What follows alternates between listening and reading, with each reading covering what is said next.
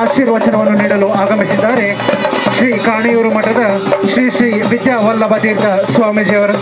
ಇವರನ್ನು ನೇಮೋತ್ಸವದ ಸಮಿತಿಯ ಪರವಾಗಿ ಹೃತ್ಪೂರ್ವಕವಾಗಿ ಬರಮಾಡಿಕೊಳ್ಳ ಕೊಂಡವರಿದ್ದೇವೆ ಶ್ರೀ ದಿವಾಕರ್ ಶೆಟ್ಟಿ ಬುಡ್ನಾರು ಹೊಸಮನೆ, ಇವರೆಲ್ಲರನ್ನು ವೇದಿಕೆಗೆ ಬರಮಾಡಿಕೊಳ್ಳಬೇಕೆಂದು ಶ್ರೀ ಬಬ್ಬುಸ್ವಾಮಿ ಮತ್ತು ನಗರಸಭಾ ಸದಸ್ಯರಾದ ಶ್ರೀಯುತ ರಾಜು ಅವರು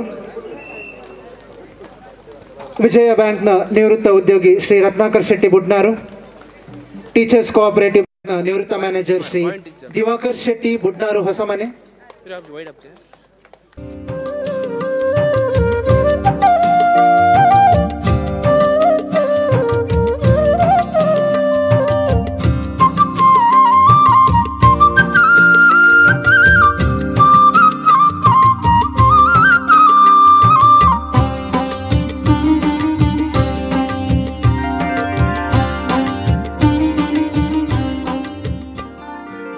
ಕಾರ್ಯಕ್ರಮದಲ್ಲಿ ಉಪಸ್ಥಿತರಿರುವ ಉಡುಪಿ ಶ್ರೀ ಕಾಣಿಯೂರು ಮಠದ ಶ್ರೀ ಶ್ರೀ ವಿದ್ಯಾವಲ್ಲಭ ತೀರ್ಥ ಸ್ವಾಮೀಜಿಯವರಿಗೆ ಗೌರವವನ್ನು ಸಲ್ಲಿಸಿಕೊಳ್ಳುತ್ತಾ, ನೆರೆದಿರುವ ಸರ್ವರಿಗೂ ಶುಭ ಸಂಜೆಯ ನಮನಗಳನ್ನು ಸಲ್ಲಿಸುತ್ತಾ, ನಾಳೆಯ ಒಳಿತಿಗಾಗಿ ಇಂದಿನ ಕೆಲ ಸಮಯವನ್ನು ಮೀಸಲಿಟ್ಟು ಭಗವಂತನನ್ನು ಪ್ರಾರ್ಥಿಸುವುದು ನಮ್ಮೆಲ್ಲರ ಕರ್ತವ್ಯ. ಇದೀಗ ಕಾರ್ಯಕ್ರಮವು ನಿರ್ವಿಘ್ನವಾಗಿ ಸಾಗಲೆಂದು ನಮ್ಮೆಲ್ಲರ ಪರವಾಗಿ ಭಗವಂತನನ್ನು ಪ್ರಾರ್ಥಿಸಲಿದ್ದಾರೆ ಕುಮಾರಿ ದಿಯಾ.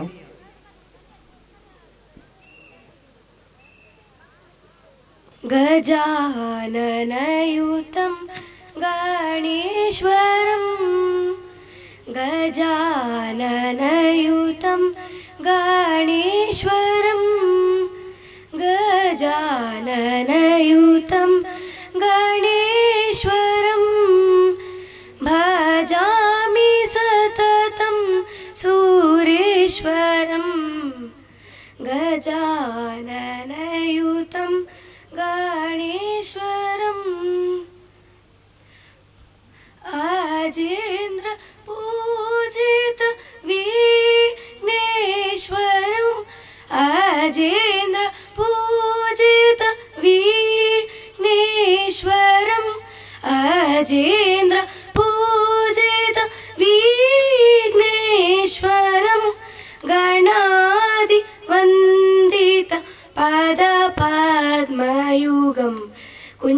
कुञ्जरभञ्जन चतुरतरकर गुरुगुहादिनुत प्रणवाकार कुञ्जरभञ्जन चतुरतरकर गुरुगुहादिनुत प्रणवाकार गजाननयुक्तं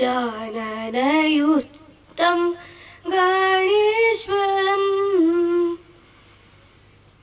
ಸರ್ವರನ್ನು ಸ್ವಾಗತಿಸುತ್ತಾ ಪ್ರಾಸ್ತಾವಿಕ ಮಾತುಗಳನ್ನು ಆಡಬೇಕೆಂದು ಶ್ರೀ ಬಬ್ಬುಸ್ವಾಮಿ ಮತ್ತು ಪರಿವಾರ ದೈವಸ್ಥಾನದ ಆಡಳಿತ ಮುಕ್ತೇಸರಾದ ಶ್ರೀ ಬಿ ಕುಶಲ್ ಶೆಟ್ಟಿ ಇಂದ್ರಾಳಿ ಅವರಲ್ಲಿ ವಿನಂತಿಸಿಕೊಳ್ಳುತ್ತೇನೆ.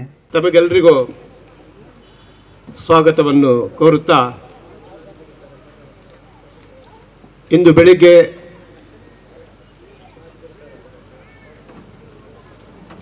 ಚಪ್ಪರ ಆರೋಹಣದ ಮುಖಾಂತರ ಈ ಒಂದು ಎರಡು ದಿವಸದ ಬಹಳ ವಿಜೃಂಭಣೆಯ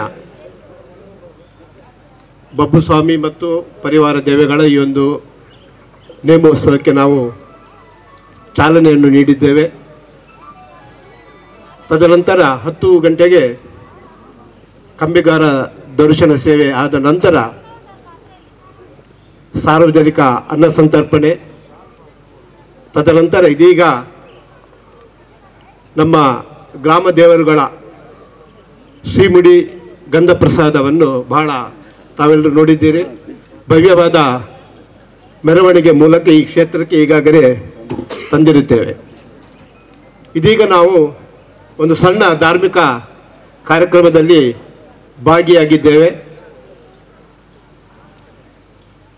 ಬಹುಶಃ ತುಳುನಾಡಿನಲ್ಲಿ ಅವಿಭಾಜಿತ ದಕ್ಷಿಣ ಕನ್ನಡ ಜಿಲ್ಲೆಯಲ್ಲಿ ನಾವು ಭೂತಾರಾಧನೆ ಮತ್ತು ನಾಗಾರಾಧನೆಗೆ ವಿಶೇಷವಾದ ಒಂದು ಮಹತ್ವವನ್ನು ಕೊಡುತ್ತಾ ಬಂದಿದ್ದೇವೆ.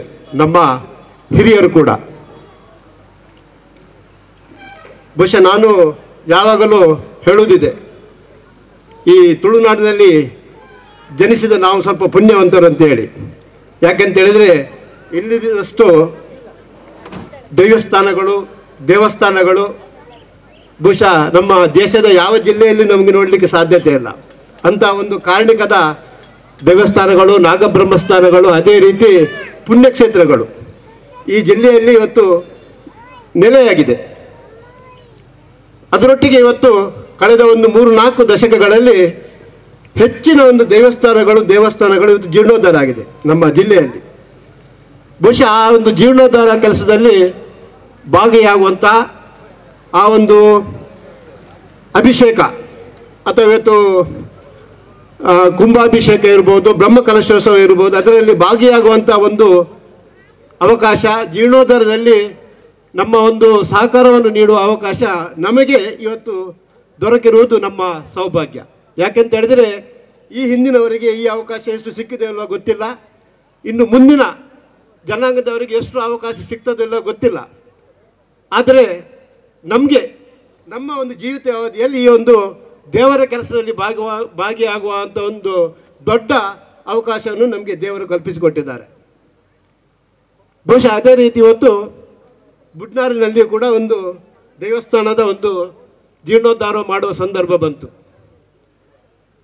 ಬಹುಶಃ ಸಾವಿರದ ಒಂಬೈನೂರ ತೊಂಬತ್ತ ಮೂರರ ಅವಧಿಯಲ್ಲಿ ನಮ್ಮ ಪುರಂದರಾಚಾರ್ಯರು ನನ್ನನ್ನು ಸಂಪರ್ಕಿಸಿ ಒಂದು ನಿವೇದನೆಯನ್ನು ಮಾಡಿದ್ರು. ನಮ್ಮ ಬುಡ್ನಾರ್ನಲ್ಲಿ ಇರುವಂಥ ಒಂದು ಬಬ್ಬುಸ್ಥಾನದ ಜೀರ್ಣೋದ್ಧಾರ ಆಗಬೇಕೆಂಬ ಒಂದು ಪ್ರಸ್ತಾವನೆಯನ್ನು ಮಾಡಿದಾಗ ಬಹುಶಃ ನಾನು ಅದರ ಬಗ್ಗೆ ಹೆಚ್ಚು ಗಮನ ಕೊಡಲಿಲ್ಲ ಆ ಒಂದು ಸಮಯದಲ್ಲಿ. ನಾನು ಹೆಚ್ಚು ಭೂತಾರಾಧನೆ ಬಗ್ಗೆ ಕೂಡ ನನಗೆ ಅಷ್ಟು ಆಸಕ್ತಿ ಇರಲಿಲ್ಲ. ಆದರೆ ಪುರಂದರಾಚಾರ್ಯರು ನಿರಂತರವಾಗಿ ನನ್ನನ್ನು ಭೇಟಿಯಾಗಿ ಆ ಬಗ್ಗೆ ಪ್ರಸ್ತಾವನೆ ಮಾಡ್ತಾ ಇದ್ದರು ಆಗ ನಾನು ಒಂದು ದಿವಸ ಮನೆಯಲ್ಲಿ ಆ ಒಂದು ವಿಚಾರ ಬಗ್ಗೆ ಪ್ರಸ್ತಾವನೆ ಮಾಡಿದ್ದೆ ನನ್ನ ಮಾವನವರಾದ ದಿವಂಗತ ರಾಮಣ್ಣ ಶೆಟ್ಟಿ ಅವರಿದ್ದರು ಅದೇ ರೀತಿ ನನ್ನ ಮಾತೃಶ್ರೀಯವರ ಹತ್ರ ಈ ಬಗ್ಗೆ ಪ್ರಸ್ತಾವನೆ ಮಾಡಿದಾಗ, ಅವರು ಹೌದು, ಈ ಹಿಂದೆ ಒಬ್ಬ ಚೋಂಗ್ಲ ಅಂತ ಒಬ್ಬ ವ್ಯಕ್ತಿ ಅಲ್ಲಿ ವರ್ಷಕ್ಕೆ ವರ್ಷಕ್ಕೆ ಪೂಜೆ ಮಾಡ್ತಿದ್ದ ಜೀರ್ಣೋದ್ಧಾರ ಮಾಡಿದರೆ ಊರಿಗೆ ಒಳ್ಳೆಯದು ಭಾಳ ಒಂದು ಉತ್ತಮ ಕೆಲಸ ಎಂಬ ಒಂದು ಮಾಹಿತಿಯನ್ನು ನಮ್ಮ ಹಿರಿಯರು ನಮಗೆ ನೀಡಿದರು. ಆವಾಗ ನಾವು ಊರಿನವರೆಲ್ಲ ಸೇರಿ ಒಂದು ಸಮಿತಿಯನ್ನು ರಚನೆ ಮಾಡಿ ನಾವು ಜೀರ್ಣೋದ್ಧಾರಕ್ಕೆ ನಾವು ಆಗ ಒಂದು ಚಾಲನೆಯನ್ನು ಕೊಟ್ಟಿದ್ದು ಸಾವಿರದ ಒಂಬೈನೂರ ತೊಂಬತ್ತ ಮೂರರಲ್ಲಿ ಬಹುಶಃ ಅಲ್ಲಿ ಆಗ ಬರಲಿಕ್ಕೆ ರಸ್ತೆಗಳು ಇರಲಿಲ್ಲ. ಆ ಜೀರ್ಣೋದ್ಧಾರ ಮಾಡುವಾಗ ಬಹುಶಃ ಒಂದು ಅರ್ಧ ಕಿಲೋಮೀಟರ್ ಅಥವಾ ಒಂದು ಇನ್ನೂರು ಮುನ್ನೂರು ಮೀಟರ್ ಉದ್ದದಲ್ಲಿ ನಾವು ಮೆಟೀರಿಯಲ್ ಹಾಕಿ ಅಲ್ಲಿಂದ ನಾವು ಕೈಯಲ್ಲಿ ಸಾಮಗ್ರಿಗಳನ್ನು ಹೊತ್ತು ತಂದು ಈ ಒಂದು ದೈವಸ್ಥಾನವನ್ನು ಕಟ್ಟಿದಂಥ ಒಂದು ಪರಿಸ್ಥಿತಿ ಇತ್ತು. ಭಾಳ ಒಂದು ಆಗ ಯಾವುದೇ ಒಂದು ಸವಲತ್ತು ಕೂಡ ಇರಲಿಲ್ಲ.